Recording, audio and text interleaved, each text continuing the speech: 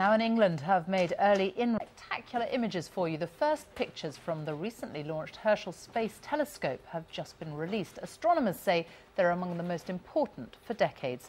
Our science correspondent Pallab Ghosh has been looking at the dramatic images of the birth and death of stars. These images have never been seen before. They follow the story of stardust, the stuff that galaxies, stars, planets and all life is made from. This image shows that the vacuum of space is swirling full of stardust. And here we see it forming into clumps along magnetic lines like pearls on a necklace. Each clump to one day become a star, a star embryo if you will.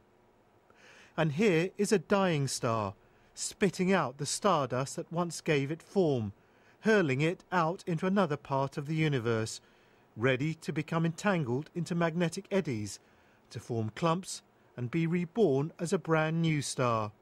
Seeing the first images when they first came down was, was just, just mind-blowing. I mean, fantastic. You know, we, we really, really are very, very excited. And I've never actually quite seen the scientific community as excited over this mission uh, compared to others. Top. Allumage des EAP et décollage.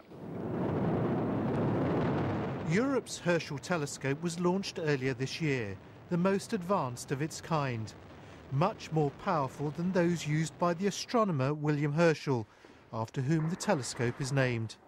Herschel's data are going to tell us in particular about the formation of stars, the formation of galaxies, the formation of uh, planets, and potentially the uh, origins of life.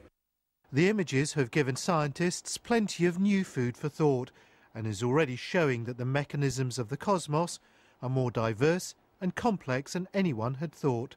Pallab Ghosh, BBC News.